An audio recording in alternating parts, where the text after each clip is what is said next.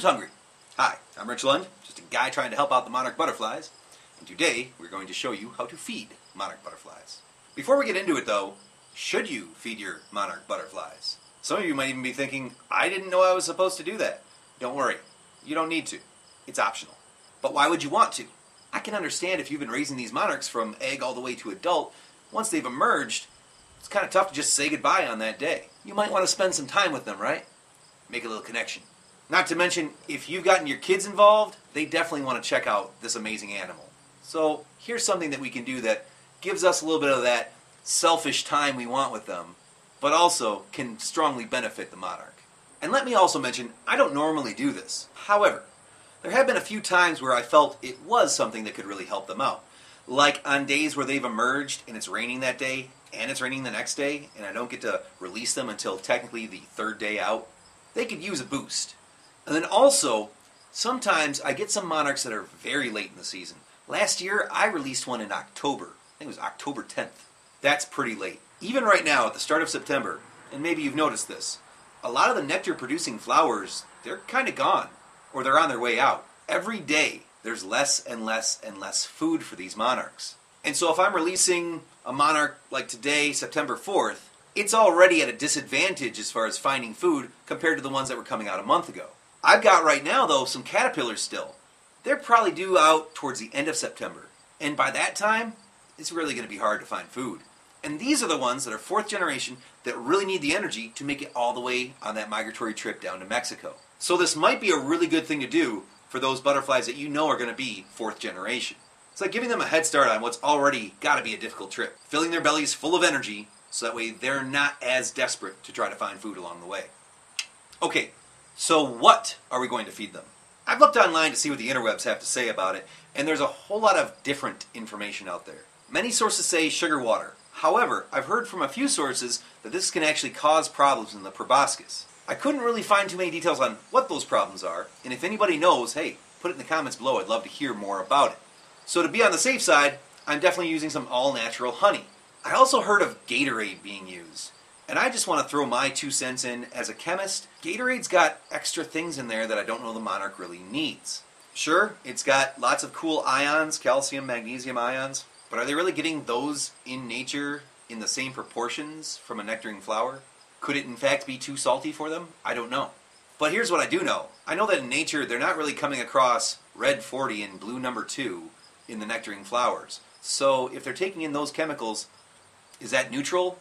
Does that do anything to them? Are there long term effects we don't know? Knowing how little research happens as far as monarchs go, I highly doubt, though it could be wrong, but I highly doubt that anyone's done a study on what effects blue number two has on the monarch population. So I think when it comes to stuff like that, I want to avoid anything with unnatural additives, simply because I don't know if it'll do anything to the butterfly in a negative way. Honey's cheap, you can find it. This is probably the best stuff to use. Now we're going to dilute the honey and make a honey solution. Obviously, it's too thick and viscous of a flowing liquid for the proboscis of the butterfly to suck it up now. And I'm going to show you some really easy math of how to do it. But you're going to want something to measure with, probably a teaspoon, since I don't know that you'll need to make a lot of this. Get some water. You might want a feeding dish. Uh, you know, a cap off of a bottle is just fine. And for some extra help, a toothpick, preferably a rounded one. Let's make our solution. Now, a lot of sources I found online, if you're making a honey solution, they recommend a 15% solution. But let's not go 15%, let's go 14.3%. Why? Well, first, there's nothing magical about that number 15. People just like the way it sounds compared to 14.3. But if you do a 14.3% solution, that makes the measuring way easier. No matter what unit you're using, and for us we're using one teaspoon, to make a 14.3% solution, I need one measurement of the honey, and then I'll need six measurements of the water.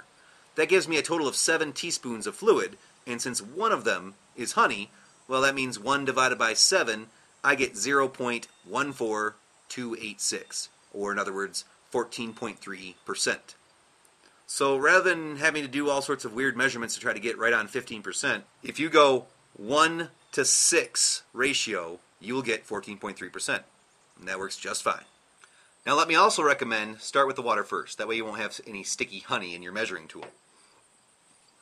One, two, three, four, five, six. Six units of water. Then one unit of honey. Another cool good thing about doing the honey last is that you can swish it around in the water to help clean off your tool and get all of the honey out of it. There we go. That shall be our nectar solution. Notice, not thick, nice and runny, easy for the proboscis to sap up. Next, do you use a sponge or do you use a dish? I've seen a couple of different ways. I don't think one way is necessarily better than the other. I like to use a little cap. I don't need it to be too deep. I prefer a shallow cap, not like a 20 ounce soda bottle cap. Get your honey solution in there. Alright, next. If you've got your monarch, your monarch is going to be flailing its legs all around. So that's why I recommend having this paper towel. This isn't for spilling. This is so that way, if I set him down, he's going to move his legs until he feels like he has traction. Once he's got traction, then he's more comfortable leaving his legs still. If I do this on like my glass table, he'll just keep on moving around. I don't want the legs to get into the solution too much. It's okay if they are in there a little bit, but I just don't want them to be so covered in stickiness that it causes any problems later on. Now comes the toothpick part. So I'm going to take the toothpick and I just come up close to the proboscis and he'll start to move it out already. And now my toothpick is in the curl of the proboscis. This can allow me to uncurl it and try to get it down into my solution. Once it's down in there, enough to where he can see that, oh, yep, we're getting food, he'll take care of the rest. And notice it hasn't prevented it, but the paper towel here has made him feel secure so he's not sticking his legs too far down into the honey water. Going back for more.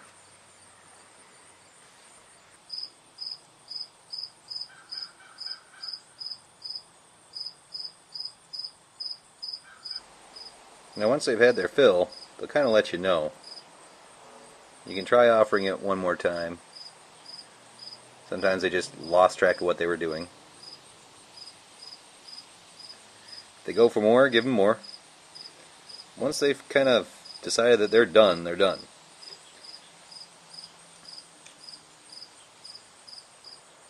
Now something I've found too when I've offered food to ones that came out that day, they tend to not really want any food that first day.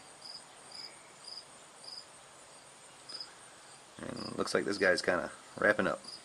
You can feed them more than once a day. They seem to want to kind of take breaks in between their little dosage of meals. And after you've done it a few times, you know that you've really helped them out, give them a head start for that migration if it's a fourth generation butterfly. So, you, sir, have a better chance of making it to Mexico. Awesome. And maybe notice also what I really like about using the dish instead of the sponge. It's a lot less of a chance that they get their wing with any of the nectar solution on it. I wouldn't want their wing to have a bunch of stickiness on there. It could cause them problems in flight, could cause it problems just landing, getting pollen on it, all sorts of issues. So the less sticky you can make your butterfly in doing this, the better. Right. See? Dish helps protect. Alright, full belly and now tagged. XNJ119 is ready to make the trip. Or not. Off he goes. There we go. Good luck, buddy. So there you have it. Nice, easy way to feed your monarchs, spend some quality time with them before their journey. Now, one last thing. I realized watching some of my past videos that sometimes I sign off saying, Thank you very much for helping me take care of the monarchs. I don't like that. That's not what I should be saying at all. It's not that I'm thanking you for helping me take care of the monarchs. Oh no, we're in this together. I hadn't put much thought into what the wording was, but now looking at it, that's not what I want to say. What I want to say is thank you very much for helping out the Monarchs. And needless to say, I appreciate you checking out the video too. And I can't say it enough. Thank you so much for being a part of this. It's so awesome to hear from so many of you that have gotten involved, gotten your kids involved, gotten your neighbors involved, gotten your schools involved. It's really humbling to be able to be part of this experience with you. So thank you. Oh, and P.S. Something that would make me tickled pink is if you check out some of our Indie Lab videos also on this channel. Take the science further. If you've got kids that have gotten involved with the Monarchs, get them involved in some other science activities. We've got lots of episodes that'll give them a really awesome science experience. I'm Rich Lund. Thanks again. See you next time.